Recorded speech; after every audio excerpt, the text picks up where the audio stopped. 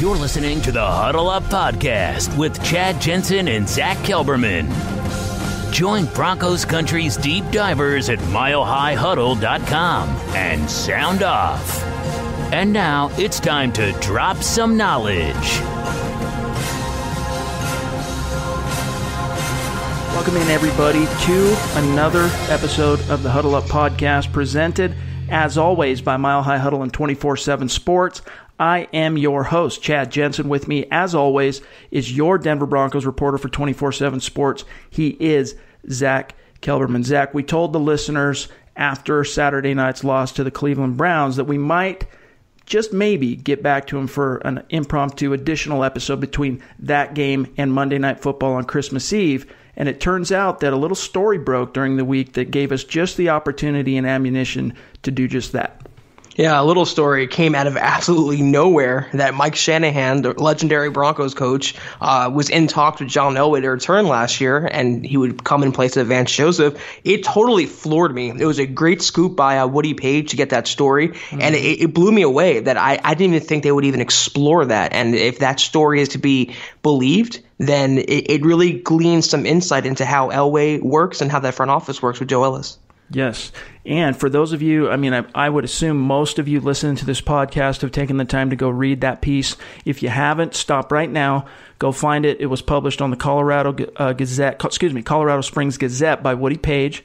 And he, it was heavily vetted, all of his source information. Five different sources were cited in the written article.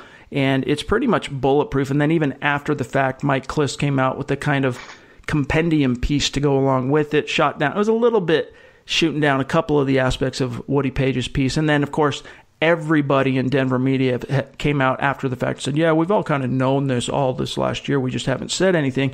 Which right. you can believe about half of half of them. Some of them sure, most of them no.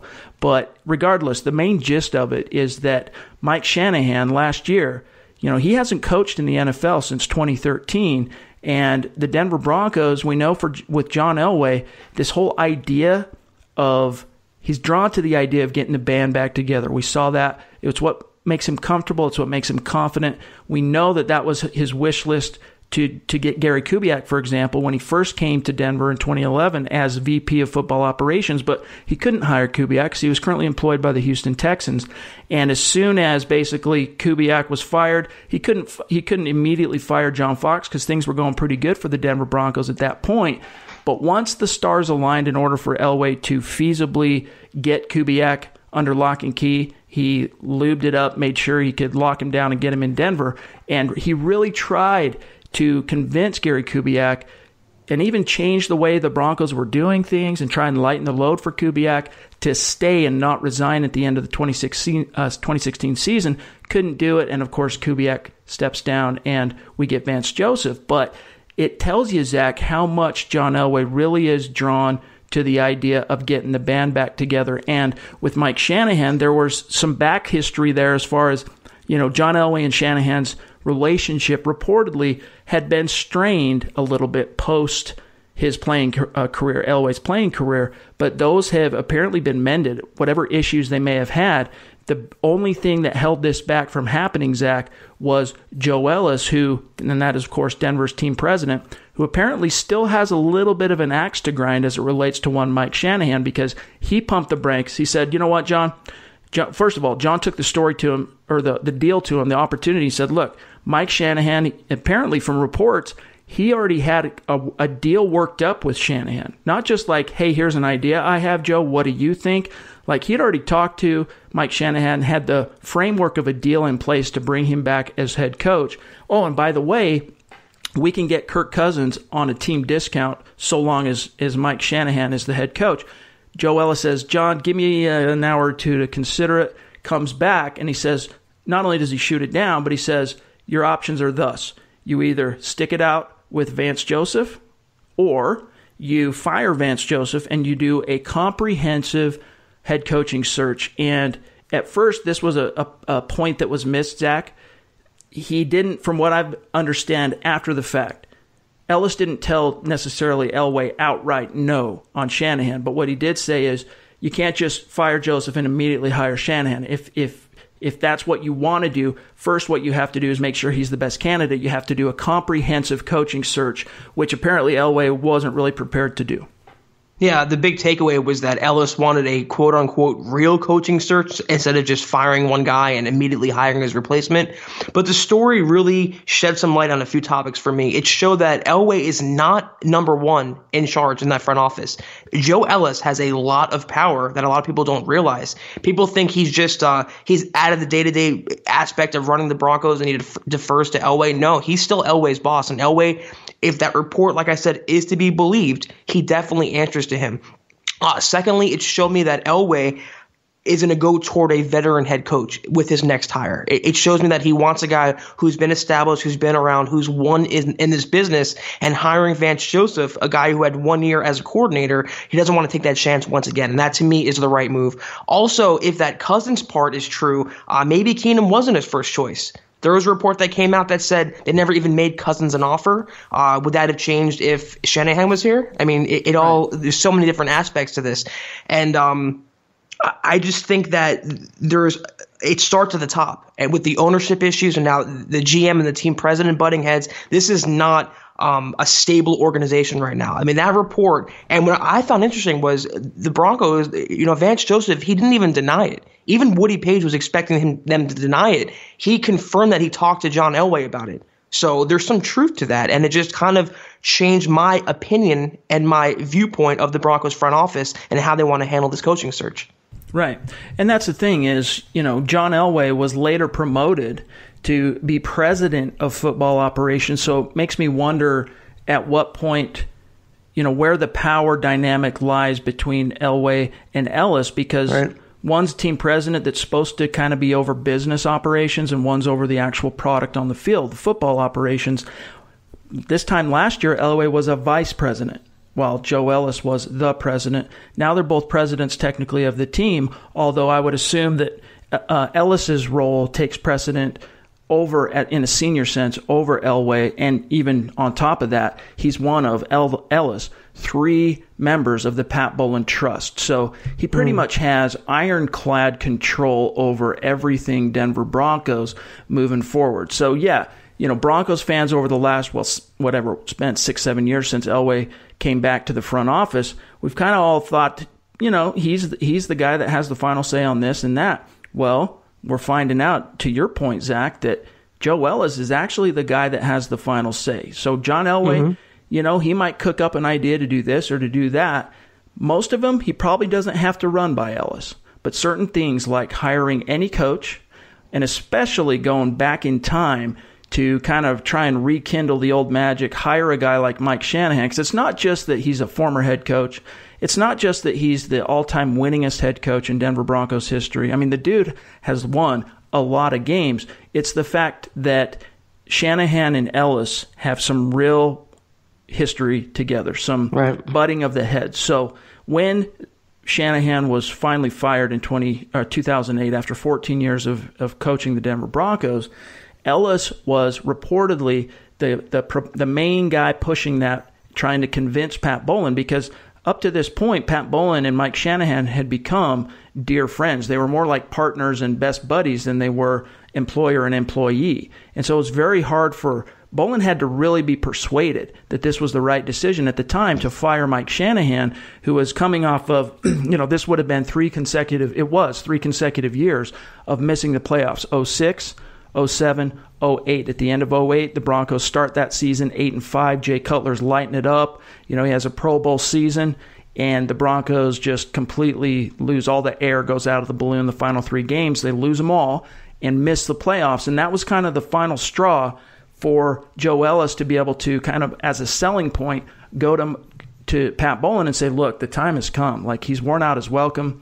And from the things that I've heard after the fact, and it's not just recently, but just over the years, was that Joe Ellis was of the opinion that Mike Shanahan, who had a lot of power in a football sense, you know, he was over personnel, you know, he had different GMs during that time, but he was the main guy making the final decision on personnel. He was the head coach, that he felt like Shanahan had kind of taken uh, measures beyond his station, that he was going above and beyond his brief which apparently felt like a shot across Ellis's bow in a threatening way somehow, because he's the one that basically put it all together to convince Bowlen to fire him. So now you're going back on all of these this water under the bridge. It's a lot to overcome if you're John Elway. Notwithstanding, you know, you could go to Joe Ellis and say, "Hey, look, man, it worked with Kubiak. You know, I know the model. Shanahan's ready to go." And what's even more surprising to me, Zack, actually, is that Shanahan wanted to come back too to the Denver Broncos. Right. I mean, he's got a legacy to protect as a Denver Broncos all-time winningest head coach. And also the fact he wasn't holding any gripes over them passing up Kyle Shanahan for the job either. And there's a, a connection to be made there. If Ellis didn't want Mike Shanahan, maybe that played a part of El- Elway hiring Vance Joseph over Shanahan. So, um, to your point though about breaking up the band or getting it back together, he let Wade Phillips walk out the door pretty easily. So if he wanted the band to stay together, uh, he should have tried a little harder than that. Maybe he had some buyer's remorse um, after bringing in Vance Joseph and he saw that he wasn't the right coach for the team. But regardless, he still had a chance to get rid of him last year. I mean, even if he didn't hire Mike Shanahan again, he could have gotten rid of Vance Joseph. So it showed that he's not too committed to him, and he was never too committed to him, again, if that story is to be believed. Uh, right. Uh, but by far, to me, the biggest takeaway of all the different things, all the different storylines and the narratives in that one article is the fact that Ellis, and not Elway, is the man in that front office. That's right. Absolutely. He has the final say. And while it shouldn't be that big of a surprise because he's the guy at the top of the business side of the Denver Broncos, in other words, he's the guy holding the purse and the purse strings. From a budget, from a money perspective, always got to run certain things by him. Anyone who kind of understands just any, even the basic rudiments of business understands there's someone at the top that has to okay certain things. But this is one of those deals where it's gonna, it's really blowing back on Ellis because even yeah. though he is you know, he, he didn't just outright deny, no, Mike Shanahan, no. He told John Elway, look, if you do a comprehensive search and Mike Shanahan turns out to be the best option, then we can talk about it type thing. But like, it's either that or stick with Vance Joseph. And Elway wasn't prepared to go through a comprehensive coaching search. I mean, that's the thing. But still, Broncos country is perceiving this as Joe Ellis basically is the reason why we got year two of the Vance Joseph regime, right? And so, and there and there is some truth to it, obviously, but I don't think it's necessarily 100% fair because after the fact, one of the things that hasn't been that well reported is that it wasn't that he just said no, Zack. He said you got to go through a comprehensive search, and then if he is the best guy, then you know we'll talk about it type thing.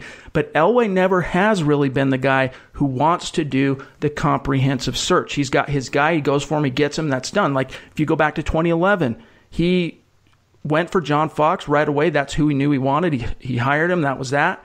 Uh, with Gary Kubiak, the same with Vance Joseph, the same. Like the the Kyle Shanahan interview, the Dave Toub interview two years ago. I mean, those were all perfunctory.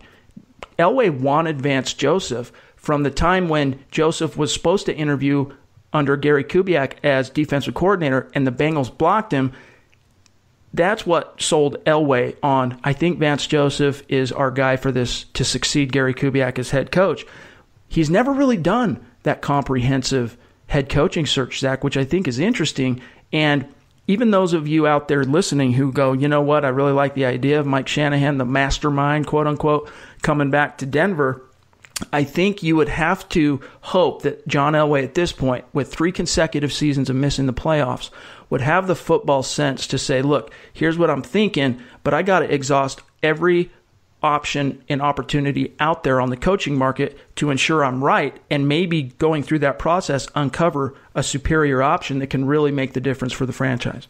Yeah, Elway is very impulsive, and that's why fans don't understand that he's not going to fire Vance when when they want him to. He's not going to respond to fan pushback and blowback. I mean, he does things how he wants. But there's no question with that report, it painted Ellis in an extremely unfavorable light, and it painted Elway in an extremely favorable light. And it leads me to wonder if those sources leaked out of Elway's circle we go. or yep. impact and, and, maybe even Elway himself. I mean, it, it just it kind of aligns with that that the timing of it, the the verbiage of the story, the tone of it, the narrative, it, it leads me to believe that Elway kind of pushed that out there. So if he wanted to look like the good guy in the front office, he definitely succeeded.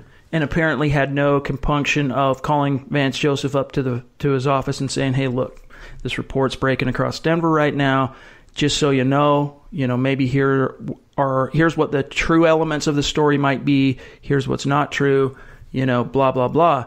But yeah, mm-hmm. you're absolutely right on that. I think my gut tells me that if you're looking for, I mean, obviously Woody cites in his in his article, as I said, five different sources, but you have to wonder if the ultimate source there is coming from Elway's office because, well, let's look at the whole who benefits thing. Why would John Elway want to push that in any way? I mean, you got to look at the timing of it. You know, as far as who benefits, to me, Zack, I can only think of two reasons why at this stage John Elway would want that story leaked as far as the timing where we're at in the season. One, he's trying to shuck some of the blame of this the negative you know backswell whatever of another losing season and yep. just the enormous disappointment in the fan base with Vance Joseph and the feeling that you know I mean a year ago maybe 1 in 20 fans you know from a social media aspect would say something negative or blame Elway now it's probably about 50-50 if there's a if you go through and look at any of the comments on like our Facebook articles or anything like that our Facebook shares and it and it's a you know like a macro article about the state of the team. About half the people blame Elway now, and about half the people blame Vance Joseph. So it would make sense to leak something like this to take some of the heat off of Elway in a sense. That could be perhaps a motivating factor. But the only other thing I could think of, Zack, number two, is he actually wants Mike Shanahan to be a viable option. And this is a way of kind of pushing it out there onto the market and forcing it into the limelight, the spotlight more like, where Joe Ellis cast in kind of a negative light now in the market, in the NFL world, is he might now have to kind of go against his own personal um, wishes or his own personal scores that he might have to settle with Shanahan and swallow his pride if it comes down to it to make the hire if that's what John Elway ends up wanting to push, you know, two, three weeks from now when they do the coaching search. I think if it's number two, he kind of screwed himself because they already reportedly said that Shanahan won't be a candidate if they do have a coaching search when, not if Joseph is fired. So um, he, Ellis is not going to eat his words and go back on his words in that stance and say, okay, you can have him now. I'm going to give, I'm going to give in to you. I'm going to give all my power away.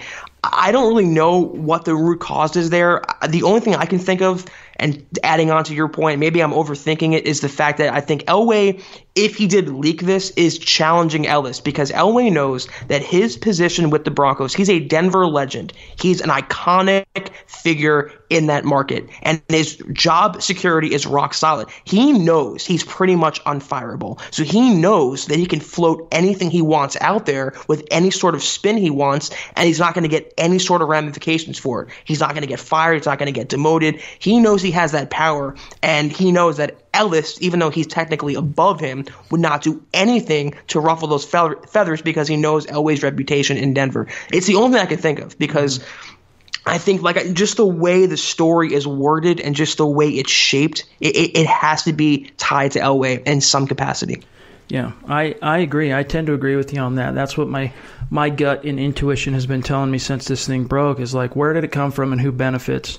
You know, the only other idea was would be is from a who benefits perspective would be that Mike Shanahan's the one that's been pushing this because he's trying to advance his agenda, right? That could be too. Which would make a lot of sense, but I think probably if you were able to drill down and get the answer absolutely, there's probably information coming from both camps because obviously th- those were the two parties trying to make this thing happen.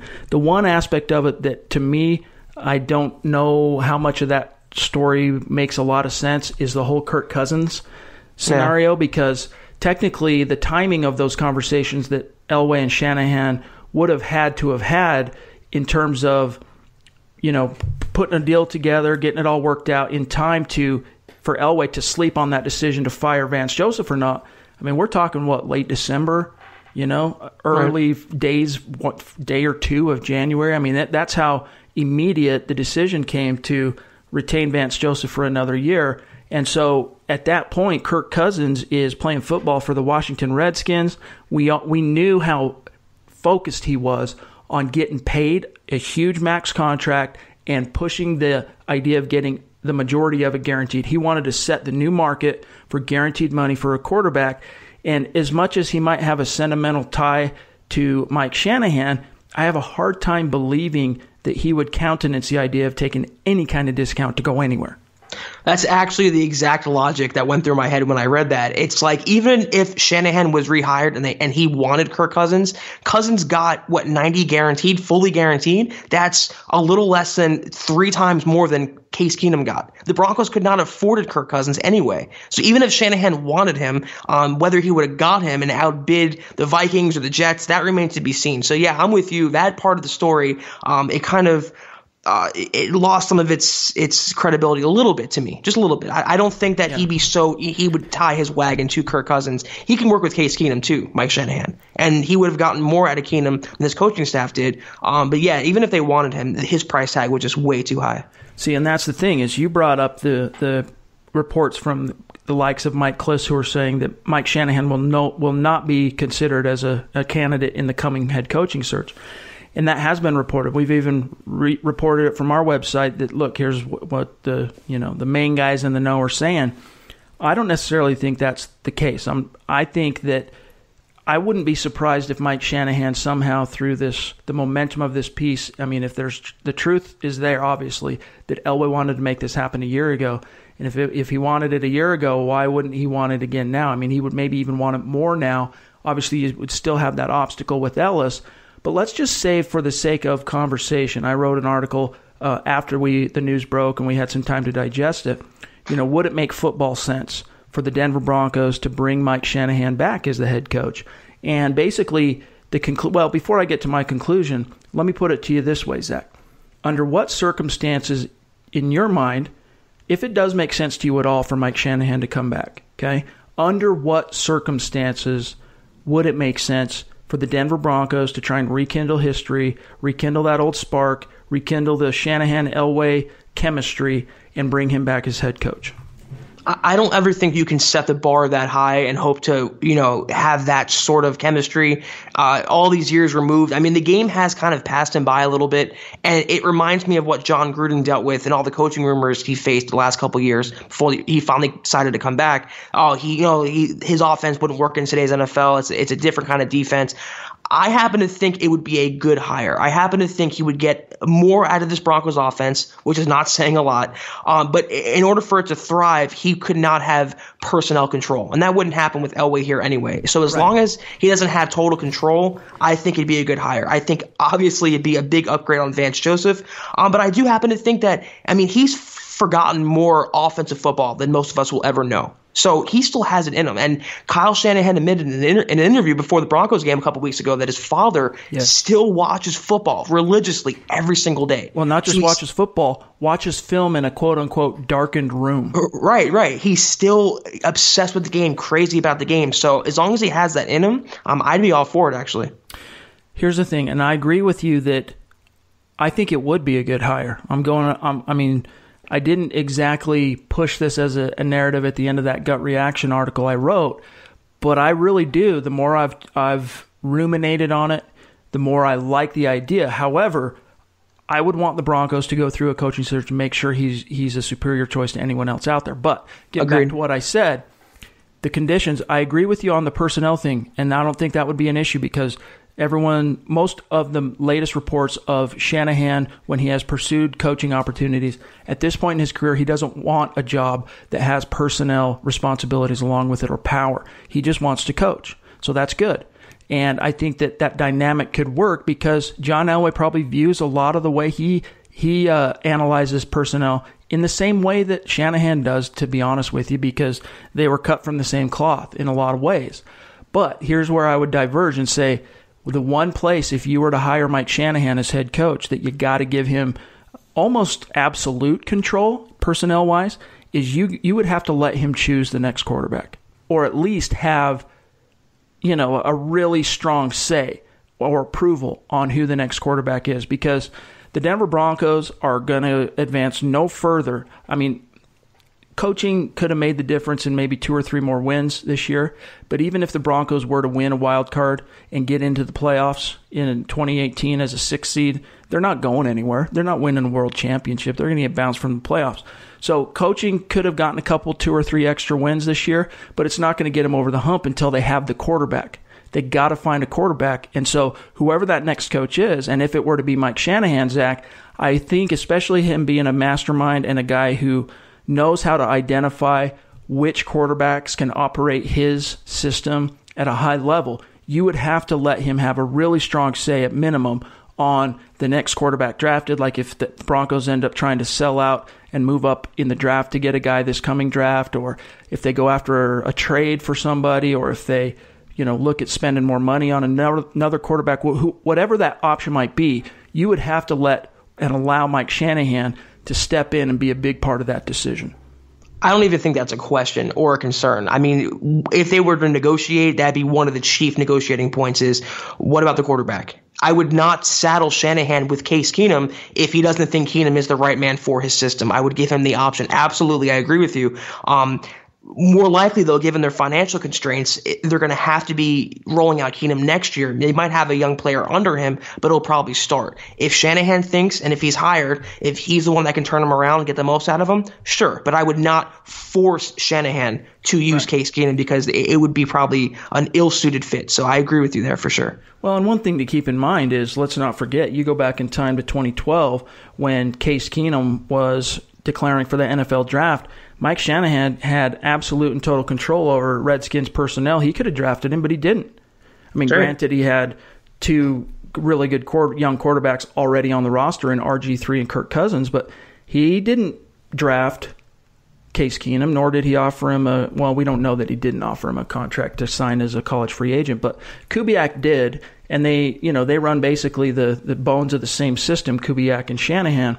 So at, at minimum, you would assume that Shanahan could probably make it work or get more out of Case Keenum than Bill Musgrave was able to this year. But I certainly don't think that Keenum would be, in Shanahan's eyes, I doubt he would view him as the ideal candidate. And one thing to keep in mind is that if you go back to that 2012 draft where the Redskins moved up to navigate to number two, that decision to draft Robert Griffin III was ownership driven. The guy that was more the Shanahan pick in that particular draft was Kirk Cousins. So all of that that was part of the blowback, part of the drama and the power struggle that took place in Washington over the ensuing two seasons was between Shanahan and RG3 because Shanahan kind of resisted it from the get-go. It wasn't really his guy. Cousins was his guy. And if you go back to 2013 at the end of that Redskins season when, you know, RG3 had had surgery in the offseason after they'd gone to the playoffs at, in his rookie year. He went to the Pro Bowl and all this stuff, but he had surgery to uh, fix his knee that he totally thrashed against the Seahawks in the playoffs and missed all of the preseason. So Shanahan was kind of slow rolling him, and then he even wanted to slow roll him even more per reports, but because Griffin was adamant to come back and play, let him play. And then finally, at the end of the year, they're basically out of the playoffs.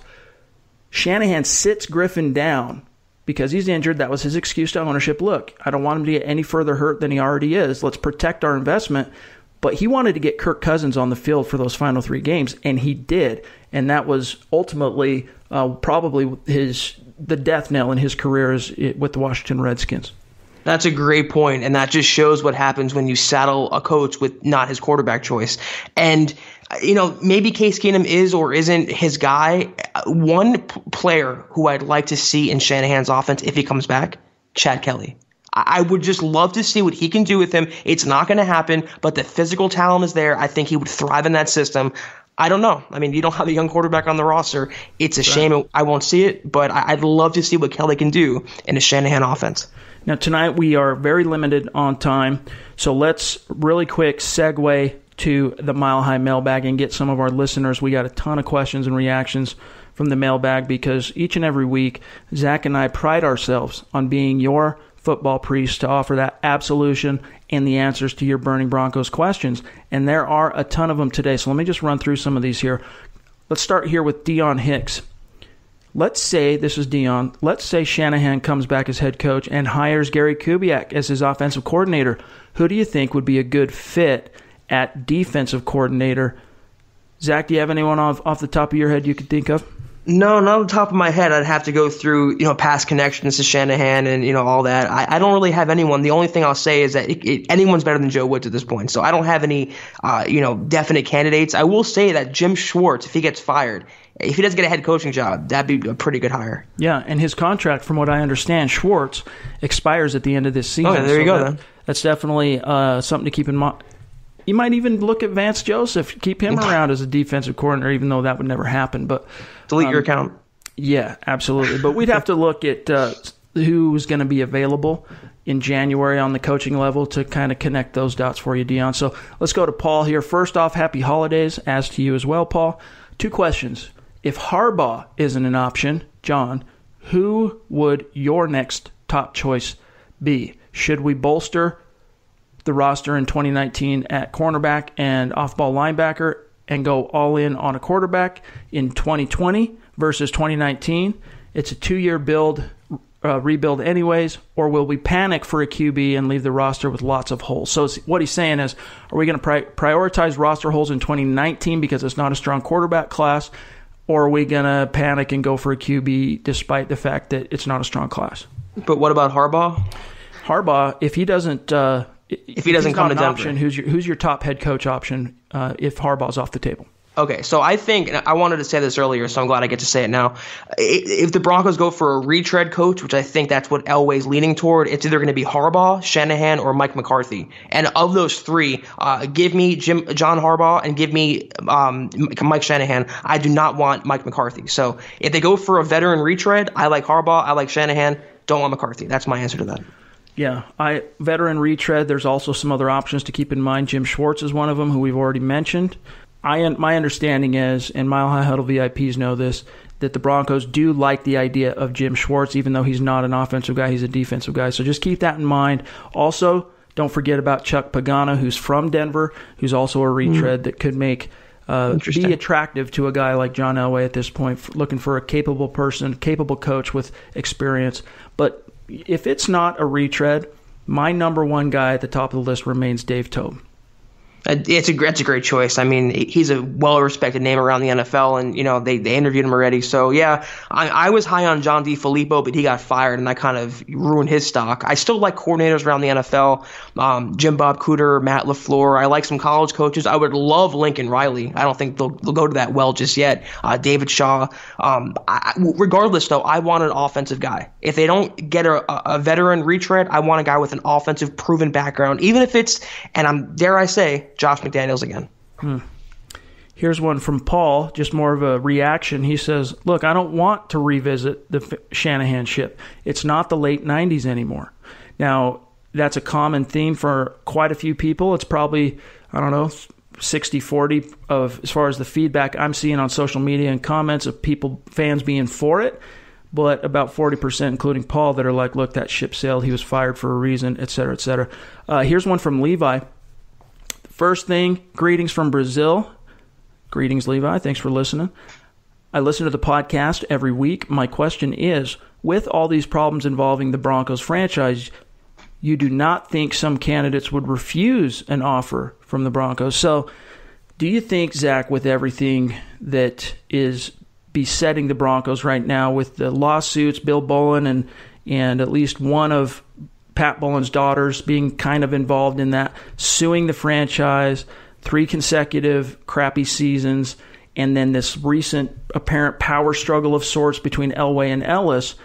Are there coach candidates out there, viable ones, who you think might kind of look at other options before the Denver Broncos now? Well, you know, money talks. So if they offer a guy four million a year and he wants money, he'll probably take it. But I tweeted this the other day, and I think it's true. They have no day-to-day owner, no long-term quarterback, no stadium sponsor, and now a GM feuding with his team president you wonder how attractive this this opening would really be. So yeah, I would think it would sway some of the more elite names. Like Jim Harbaugh would never come to Denver and take on this this reclamation project. He would not do it. They can get a, a lesser guy, but they were not get an elite guy with this current situation. They have no building b- blocks in place where you need them to be. At quarterback, with ownership, with a steady GM, and what he, his philosophy, what he wants to do, a coaching staff on the way out, a frustrated fan base. No major name is going to want to step in here and take on this mess. So yeah, I think it does hurt them. And that's one of the reasons why I think it makes some sense to turn to a guy like Mike Shanahan who could you know he's a, he's old guard he's one of the family he's you know ring of fame he's got a hall of fame resume to be honest with you yep. so that's we'll get more into that here in just a little bit. Here's one from Dylan West. In your guys' opinions, what are the long-term ramifications for the storm that popped up this week with Woody Paige in terms of the organization and how badly does this tarnish the organization in terms of respect and ultimately Pat Bowlen's legacy? And then he follows that up with, well, answer that first. What do you think might be the long-term ramifications with all this Shanahan story popping up this week on the organization in your mind? Uh, long term, the worst case scenario is if they don't get the guy they want because of all these different things popping up. That's the worst thing long term I can think of. Personally, I don't think it will be have any long term effects. If they got get the guy they want, if they hire the next Sean McVay, then we'll even forget this even existed. Winning cures all in the NFL, and so does hiring the right guy to lead the charge. So I don't think it's going to impact them negatively too far long down the road, but in the next coming months when they go on their coaching search, it's going to be coming to the front of the fray. Here's the problem. The worst case scenario is that it finally crosses the scrutiny and attention of Commissioner Roger Goodell, who forces the hand of the Pat Bowlen Trust to either sell the club or pass it on to an heir of Pat Bowlen's. That would, to me, be the worst case scenario for the Broncos organization, which still wouldn't reflect well on Pat Bowlen having to force the NFL to step in and strong arm what his succession endgame plan ultimately was before he lost all of his faculties. But here's one thing I'll say too is you look at your Sean McVays, you look at your Matt Nagy's, these young and coaches, even look at Anthony Lynn, guys who yep. are first time head coaches that had immediate success or relative success with their clubs. Shanahan. It's, it's important to get the right coach. Okay, that's obviously a big part of the equation. The Broncos missed on that big time with Vance Joseph, but each one of those corresponds to already having a quarterback or a viable yep. young quarterback to build around, which the Broncos do not have. Now, here comes one from Dylan West. Well, this is the second part to Dylan's question.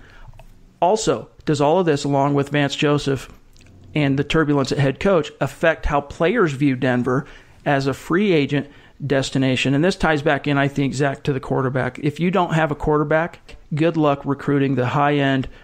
Well, you're you're still going to be able to get the the top guys that are just looking for max money, like maybe a Landon Collins out there, who the Broncos apparently have some interest in.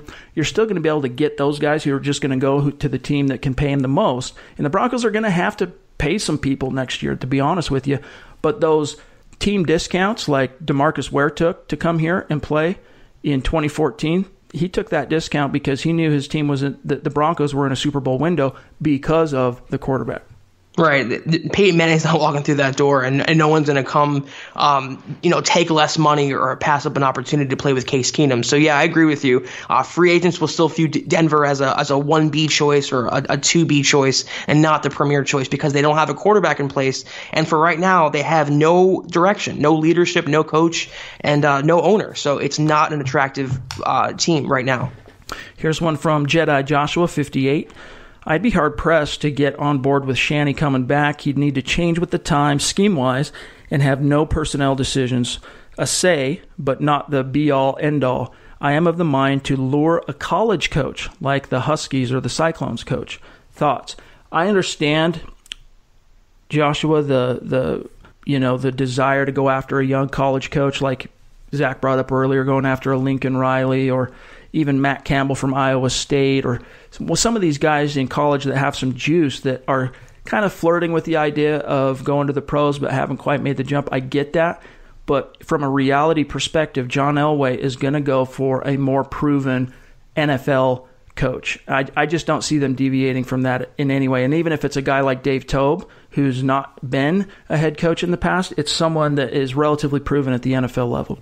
Yeah, it's also tough to lure a, a, coach away from college because they make such good money. They get to recruit. They have more power, more control. They're more revered. So it, it's always tough getting them to flip to the NFL. And I don't see it happening. I'm with you, Chad. I think they go for a, a veteran coach. And I will say this: they don't. They just need a coach who'll stay out of the way, who won't negatively impact games, who just has some shred of integrity and competency, and they can do his job. It doesn't. It doesn't have to be complicated. They just have to be an upgrade on Vance Joseph, and they can win football games no matter who the head coaching hire is, they're going to have not they're not going to have it easy because they don't have a viable quarterback. But you significantly make it even harder on like a young college coach trying to make the pro jump when you saddle him with a first time job in the NFL and he doesn't have a quarterback. So right. that's another reason why it's just not the right time for the Broncos to go to the unproven realm of the college ranks. Now, here comes one from Steve Holton on Twitter, who says, In your opinions, would the Broncos do better to bring back Mike Shanahan, an option that I would love to see, says Steve, or would someone else be a better choice? I think we've pretty much answered that one for you, Steve, that we both like the idea, but I think we're both pretty much in agreement that we'd want the Broncos to undergo a comprehensive head coaching search, a la what Joe Ellis was apparently really saying to John Elway. And if Mike Shanahan ended up being the best option after all things considered, then so be it. It's pretty simple. I would take any candidate over Vance Joseph right now, but of the veteran retreads, I would take Shanahan or Jim uh, John Harbaugh. I just don't want Mike McCarthy. Uh, McCarthy. So, uh, yeah, I, I, just think again they go in that direction. They're not going to go for a first timer. They're not going to go for a rookie. They're going to go for a guy who has some sort of proven background, and it could be a guy who's already been NFL head coach at this level. So, um, if it's Shanahan, great. Is anyone but Vance Joseph, anyone but Mike McCarthy. We have a ton and ton of questions and comments here. We're not going to be able to get to them all because we're running out of time. In fact, we're already out of time, but we'll grab one or two more here. From Nathaniel Belt on Twitter, he says, I have the feeling that they will hire a veteran coach and will likely not be a very sexy hire. Denver needs a steady hand to buffer the team from the front office ownership chaos. Also, does it all come down to coaching. I think we've addressed that as well, Zack, that coaching is important. The next guy is crucial, making the right decision, but you need a quarterback too. Here's one from Digital in Bacon. Happy holidays to you as well. With all the extra garbage going on in Dove Valley, Zack, do you think Denver will be a highly sought after coaching gig? It seems like Denver usually has its pick of coaches first. We've kind of addressed that one as well. Um, you know, Denver's star has has dimmed a little bit, and one of the reasons why it's not just because they've been losing. I mean, every coach, any coach worth his salt wants a head coaching job just for the money's sake. Most of them, anyway. The vast majority of them do. But for those who are actually in the running and highly sought after and coveted, they're going to go to the most favorable place that's going to give them the best chance to win. Right now, that's not Denver. Cleveland is where you want to go yeah. if you're a head coach right now. So uh, here's one from Christy. I don't know if Shanahan is the answer. Now, knowing that he could have been in the last season but was denied by Ellis, who else would be potentially vetoed by Ellis? If he is the guy making the final calls, Zack, and this is a good question. Who do you think his choice would be? Who's in and who's out in the mind of Joe Ellis if you could get inside between his ears right now? Of this current coaching staff? Yeah. Well, no. Of this current crop of coaches that's going to be available for the Broncos to hire oh, on the coaching carousel. Yeah, I, I, would I would happen to think that after seeing the Vance Joseph mistake that he'd want also a veteran guy or at least a proven guy. Uh, whether it's a guy who carries the cachet of a, a Shanahan or a Harbaugh remains to be seen, but I, I still think that Elway and Ellis are aligned in that sense that they want a veteran coach, not a rookie coach. It's one of the reasons why I still think there's a little something to be played out still in this whole Shanahan back to the Broncos story.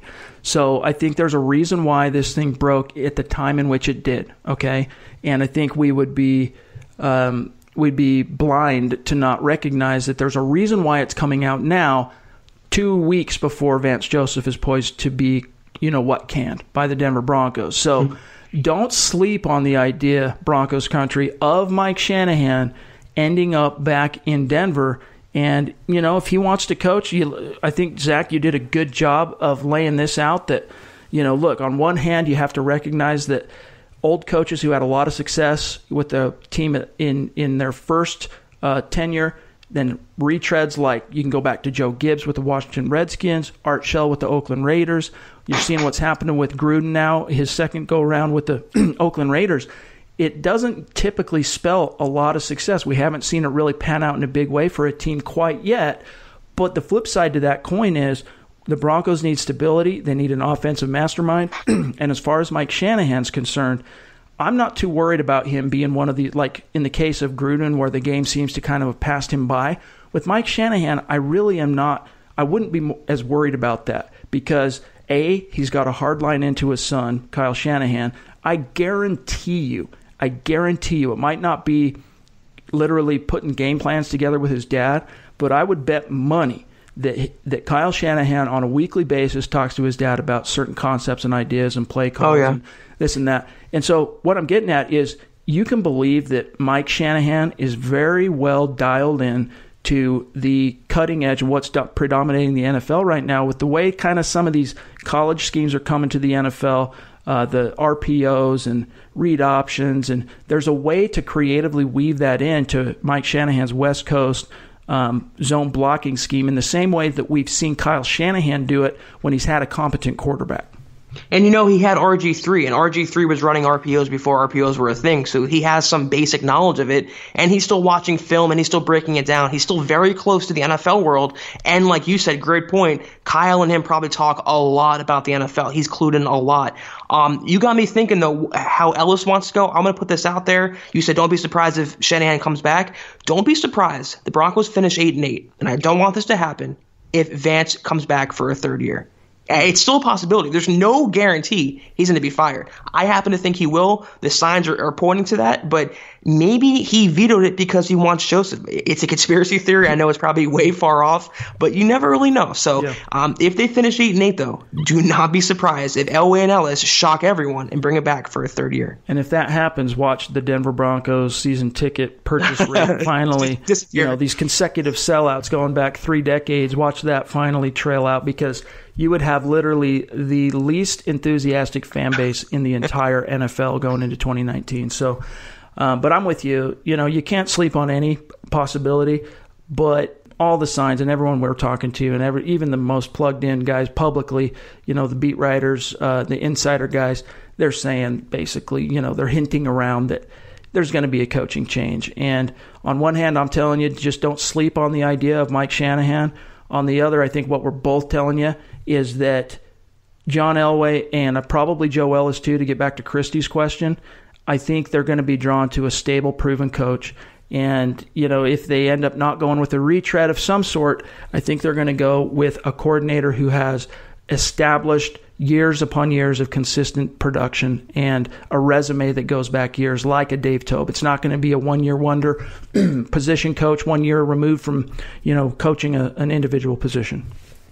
I will say this though, last year at this time there were rumblings that Gruden was finally going to come out of the booth and come back to the NFL. Yeah. A couple weeks later, he was hired by the Raiders. So where there's smoke, there's fire in the NFL. right. And if Shanahan, these rumors were popping up, maybe we'll happen to see what happens in a couple weeks if Joseph gets fired, and you never really know. Can you just believe it though? Shanahan could be rehired by the mm. Broncos. I mean, it's just crazy to think about. It really is. It really is. But and even it's crazy at this point to think that in so many ways the idea of rehiring Mike Shanahan sounds like a lifeline to this organization right now. Right. You know, I mean that's just where we're at. But you know, if you look at it from the upside and in positive lens, the Broncos under John Elway have had a lot of success with the idea of getting the band back together. And I mean, everything Gary Kubiak knows, he learned from Mike Shanahan, and vice versa as far as John Elway. So we'll see how this thing shakes out. but uh, we're glad that we got an opportunity to come to you with this impromptu episode. You won't hear from us again till probably the day after Christmas because this next game, of course, is very inconveniently on Christmas Eve, which makes life extremely hard on guys like Zack. Thanks, NFL. Yeah. Uh, I mean, the players got it bad themselves, but those of us who have to cover the team and have uh, deadlines and who have, um, you know, expectations of our masters, it's uh, it's going to make it hard to really sit back and enjoy Christmas Eve and Christmas. So we'll plan on coming back to you to react to whatever happens in week 16 on Wednesday, the day after Christmas. So in the meantime, happy holidays to all of you. Merry Christmas. Happy holidays, guys. And uh, we'll talk to you guys soon. Make sure, obviously, we haven't even touched on this today, but make sure you're following the show on Twitter. Looks like a lot more of you have come around on that, which is good. You're getting in on the Mile High mailbag at Huddle Up Pod. Find Zack on Twitter at Kelberman247. You can find me at Chad and Jensen. And in the meantime, if you haven't done it, take some time. Go leave a creative review and rate the show. Give us a five star rating on iTunes, especially, and Stitcher as well. And uh, other than that, you guys keep your chin up it's bad right now, but there's only one way for this organization to go, and that's up. And Zack and I are looking forward to breaking down all the new changes and the improvements this team can make in 2019. So keep your chin up, and uh, we'll come back to you here soon. And in the meantime, have a Merry, Merry Christmas. You've been listening to the Huddle Up Podcast. Join Broncos Country's deep divers at milehighhuddle.com to keep the conversation going.